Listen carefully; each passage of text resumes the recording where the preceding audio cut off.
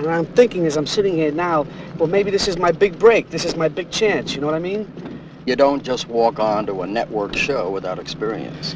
Now, I know it's an old hackneyed expression, but it happens to be the truth. You got to start at the bottom. I know. That's where I am, at the bottom. That's a perfect place to start.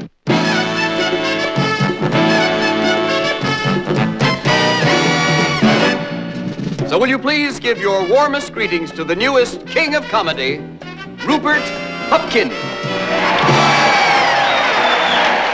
His name is Rupert Pupkin. He lives in a world of make-believe. Oh, Jerry, I love this guy. Always coming up with these great lines. I love him. I love him. Nobody can remember his name. Mr. Pipkin. Mr. Pupnik. Mr. Puffer. Rupert. Pupkin, P-U-P-K-I-N. But by 11.30 tonight, the whole world will know that Rupert Pupkin is the new king of comedy.